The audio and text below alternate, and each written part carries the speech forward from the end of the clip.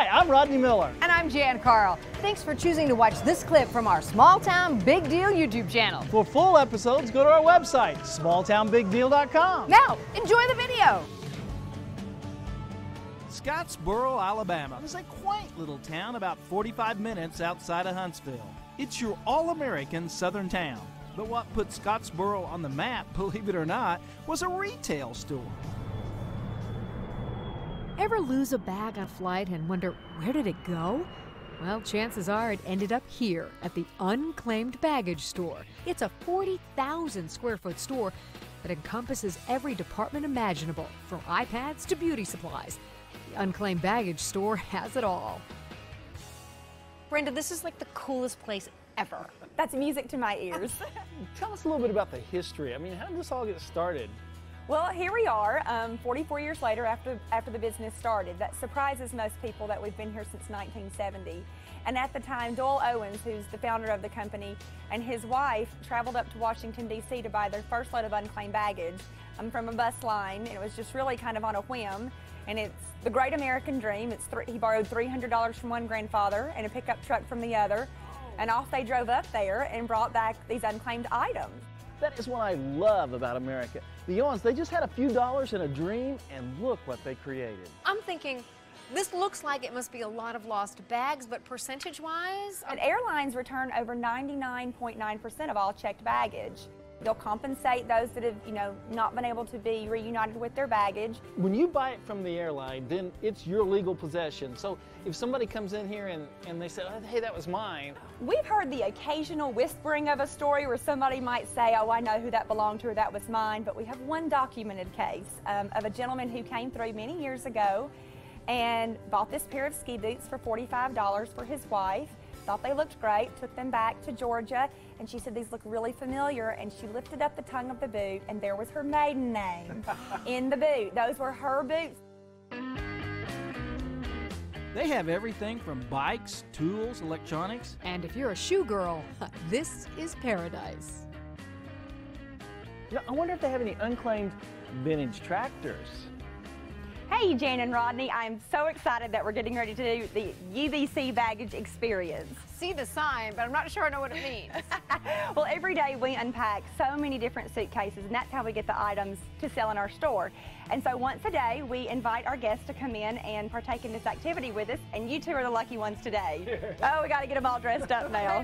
no. I'm not coordinated enough to put it on without her help. Really? I have no idea how that man gets dressed on his own. What we're going to do is you're both going to start on your bag, and you always start with the outside pockets. So let's see what we've got. I'm excited and a little apprehensive because we don't know what we're gonna find. You know, when we're going through this, obviously there's going to be a story to tell. What journey has this bag been on? Do you need some help unzipping that bag? there's a nice fancy zipper right oh. there. Woohoo! Oh, Some nice oh, Sony oh, headphones. Sony headphones, those are definitely for sale. Sell, sell, absolutely. I'll pass those over there. Oh yeah, it's definitely a keeper. Yeah. I don't know, but this person just went to the Universal Studios Hollywood Experience. They had the exclusive access pass. Very So cool. I think they were going home from their vacation. I would think so. Oh, it's a pretty Oh, cool that's beautiful. poster. oh, that is really cool. Or Old Coffee Grounds. I got her good. What is the strangest or craziest thing that you guys have found in a suitcase? You know, um, probably one of the more unexpected items was a live rattlesnake. Oh my goodness. Who travels with a rattlesnake in their luggage? People from all over the country come to this store. In fact, we found a family from Alaska. Now, what'd you think when you first read the description of this place?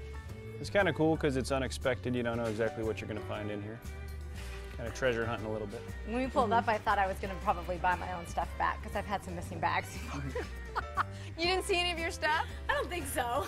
What had you heard about this place?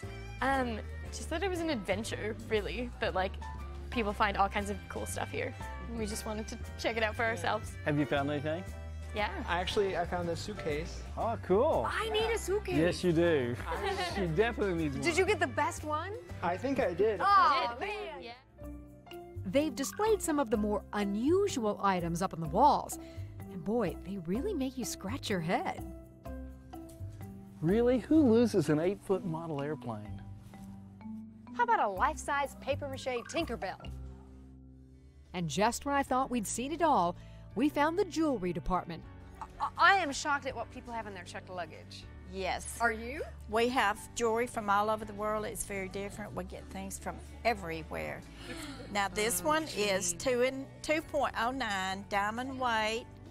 Our price is $19,622. This one was appraised for 39,250.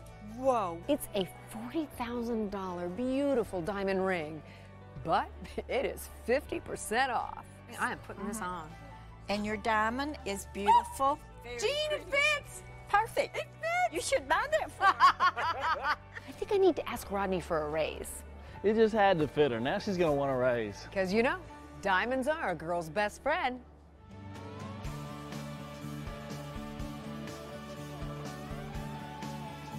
I am so excited about my suitcase. I know you are. I am.